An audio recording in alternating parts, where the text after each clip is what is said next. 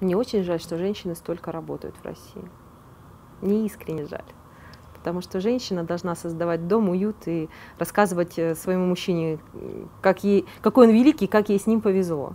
Э, воспитывать своих детей, не, не перекладывать это все на няни, на чужих людей, на каких-то...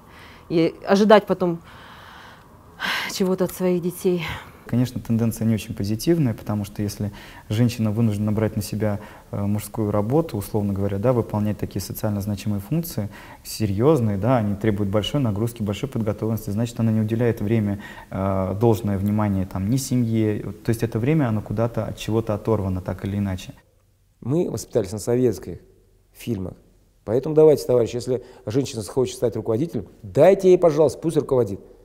Притом должна быть всегда яркая, идеальная и красивая. Я не против женщин-руководителей, но я бы мечтал, чтобы женщины э, не хотели руководить, чтобы они все это поручили мужикам делать, а сами бы отдыхали. Мне всегда лучше работает с женщинами. Они тоньше, они интереснее.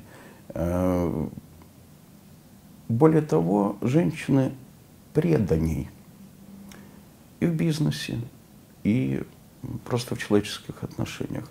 Женщины с большим трудом предают, чем мужчины. С чем это связано? Не знаю.